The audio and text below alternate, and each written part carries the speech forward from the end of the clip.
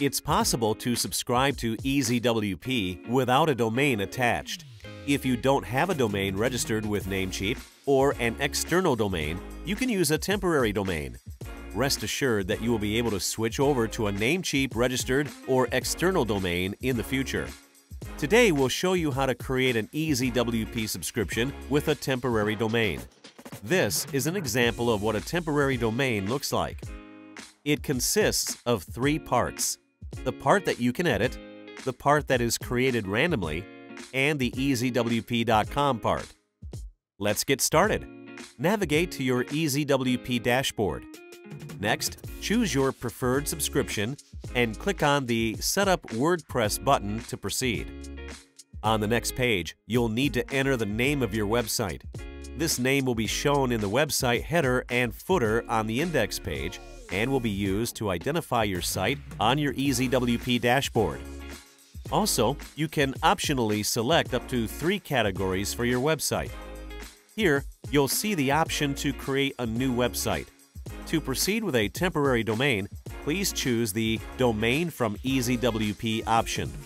You can keep the name of your website in it or use something else. Once you're happy with your choice, click on the Continue button. Next, pick a free theme for your site. It's possible to preview the themes before choosing them. Also, you can skip this step if you already have a site or another theme that you will use.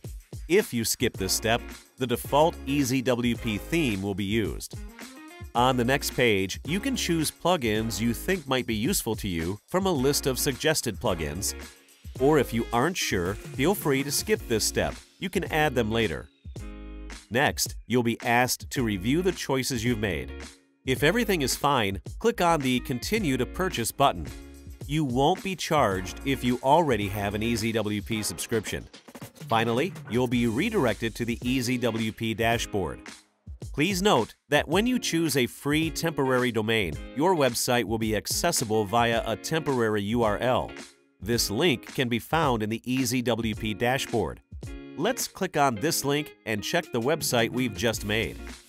On its index page, you can see your website name in the website header and footer. And that's it! Congratulations! Your new EasyWP with a free temporary domain was created. Thank you for watching. If you have any questions, please post them under this video or check out our knowledge base at Namecheap.com for more tips and support.